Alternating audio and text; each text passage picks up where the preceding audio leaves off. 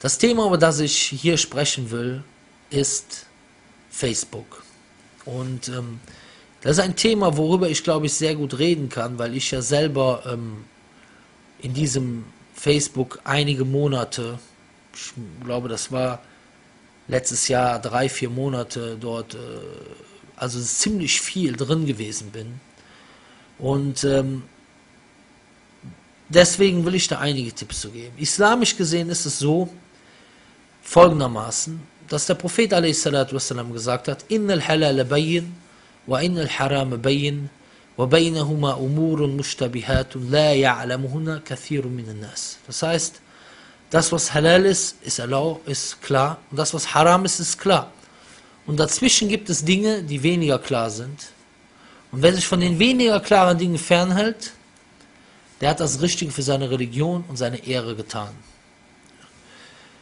Dann gibt es eine Regel im Islam, dass was Dunya-Angelegenheiten angeht, dass alles erlaubt ist, bis es einen Beweis gibt, dass es verboten ist. Und dann gibt es eine Regel, dass wenn eine Sache einen größeren Schaden hat, dass sie gelassen wird. Dass man sie lässt. Und dann gibt es eine Regel, dass wenn eine Sache, wo der, wenn der Schaden und der Nutzen gleich groß ist, ja, das heißt, wenn ein Nutzen und Schaden gleich groß ist, dann wird die Sache auch gelassen. So. Wenn wir nun Facebook angucken, dieses Forum, sage ich mal, und wir schauen uns an, wie ist dort der Nutzen und wie ist der Schaden. Und ähm, ich muss sagen, ich kann über dieses Thema gut reden, weil ich ja selber dort drin gewesen bin. Ja, und ähm, und weil ich auch von vielen Leuten jetzt gehört habe, ich bin jetzt schon, Alhamdulillah, seit Monaten nicht mehr da drin gewesen und ich bin wirklich heilfroh darüber. Weil erstens, es ist wie eine Sucht. Insbesondere, wenn man so viele, äh, äh, viele Freunde dort hat oder viele Kontakte hat, weil immer was Neues ist. Man ist einfach neugierig. Ah, was schreibt der, was schreibt der, was schreibt der, was schreibt der, was schreibt der. Und ich war manchmal also äh, so viel in Facebook drin gewesen, ja, dass ich dass es einfach ich mir meine Zeit so geklaut hat.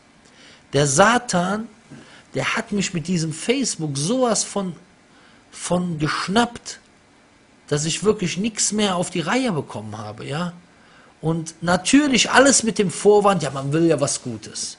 Man will ja nur Leuten Fragen beantworten, man will ja Dauer machen und man will ja hier und da und hin und her. Na klar, das ist natürlich der Satan auch, muss ich ganz ehrlich sagen.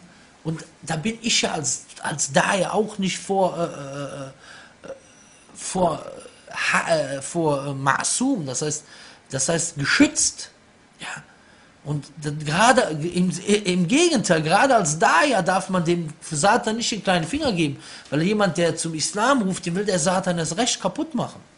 Und ich habe es wirklich so gespürt, wie der Satan mich langsam aber sicher geschnappt hat und gerüttelt hat und alles unter dem Vorwand, ja, man will ja helfen. Ja? So, man will ja schreiben. Da ver verplempert man erstmal seine Zeit.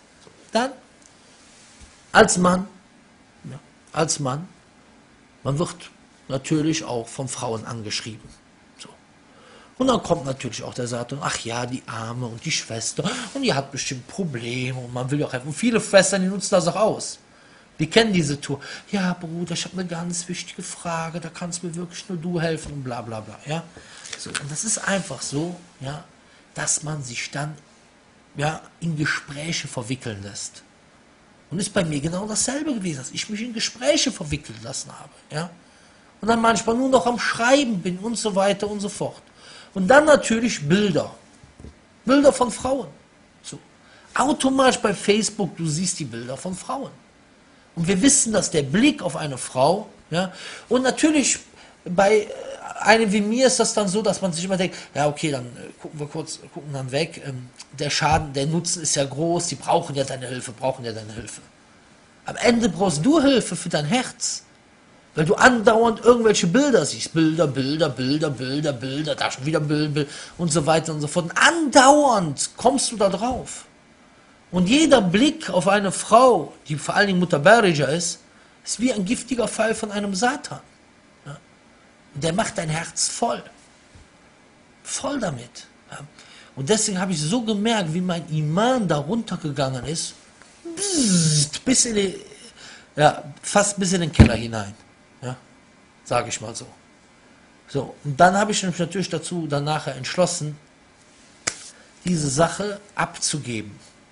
Und ich habe einem Bruder gesagt, gebe mir, du nimm, ich habe gesagt, ich will weiter diesen, ähm, diesen Effekt haben, dass ich die Leute habe, weil die Leute sind sowieso in Facebook und wir müssen die Leute dann noch irgendwie ähm, aufrufen über die Sache und wir können da so viele Leute erreichen und haben natürlich auch Leute Islam angenommen über Facebook und so weiter und so fort, ja.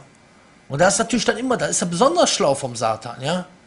Ja, da ist er besonders schlau. Ja, guck mal hier und du kannst ja auch dieses und jenes und so weiter und so fort. Nur an erster Stelle muss man sich selber retten. An erster Stelle muss man sich selber retten. Ja, die erste Pflicht ist, dass man sich selber rettet. Der Prophet Musa a.s., der hat eine lange Dua gemacht. Und die wird in Surah in der 20. Surah erwähnt. Da sagt er, Rabbi, shrah li sadri, oh Allah, mach meine Brust weit. Oh, yassirri amri, mach meine Angelegenheit leicht. Ja? Und nehme meinen Knoten von der Zunge, sodass sie mein Wort verstehen. Ja? Rabbi shrah sadri, wa amri, yafqahu qawli. Viermal Dua. Ja? Äh, Rabbi shrah sadri, wa amri, lisani. Dreimal Dua. Yafqahu qawli, damit sie meine Worte verstehen. Waj'alli waziran min ahli. Und gib mir einen Wazir, einen Minister von, deinem, von deiner Familie. Ja? Und dann weiter sagt er, Ushdud bihi azri und stärke mit ihm sozusagen meinen Rücken. Das heißt, unterstütze mich mit ihm. Wa ashriku fi amri und mach ihn zu einem Teilhaber in meiner Angelegenheit. Warum? Das heißt, wir haben hier Rabbi shrah li sadri li amri wa hlul uqtat min lisani dreimal Dua. Dann was was geht's dann? Waj'alli waziran min ahli Harun akhi ushdud bi azri واشركوا في أمري sechsmal Dua. Warum? كي نسبحك كثيرا damit wir dir gegenüber viel Tasbih machen. Subhanallah. Und وَنَذْكُرَكَ كَثِيرًا und damit wir dir viel gedenken. Das ist der Sinn davon. Das heißt, der erste Sinn ist, dass man selber Allah gedenkt. Und wenn man selber merkt, dass das einen vom Weg wegbringt, dann muss man sich verabschieden. Und deswegen habe ich mich auch da vor geraumer Zeit, äh, Alhamdulillah, verabschiedet. Und das hat mir wirklich gut getan. Das hat mir wirklich richtig gut getan, ja. Weil es einfach zu viel ist. Gerade für die Duat kommt noch ein, andere, kommt noch ein anderes Problem dazu. Ja, das ist der übertriebene Lob. Ja. Andauernd kommen Leute und sagen, oh Bruder, boah, super, oh, und dies und das und hin und her und kreuz und quer und dann kommen auch Frauen und sagen, oh, finden wir ja ganz toll, was du machst und so weiter und so fort, ja. Und das ist natürlich auch etwas, was, was einen kaputt machen kann. So, deswegen, für mich ist ganz klar, dass ich so eine Seite nicht verwalten kann. Ich kann eine, da kann eine Seite sein, wo jemand beispielsweise Sachen reinsetzt, Punkte reinsetzt und es ist wie eine Sucht. Wie eine Sucht. Und wir haben gehört, dass es viele Ehen dadurch kaputt gehen. Viele Ehen dadurch kaputt gehen. Ja, virtuelle Welt.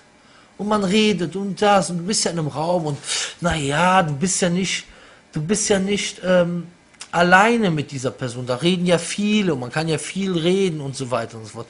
Und so kommt der Satan langsam, langsam, langsam, langsam, langsam, langsam, langsam.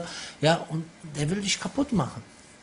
Und deswegen kann ich nur sagen, ja, dass man sich erstens, äh, dass ich für mich persönlich ganz klar entschieden habe, dass das viel größeren Schaden als Nutzen hat. Es hat Nutzen, ganz klar, man kann Dinge verbreiten, aber für mich einen größeren Schaden hat als Nutzen.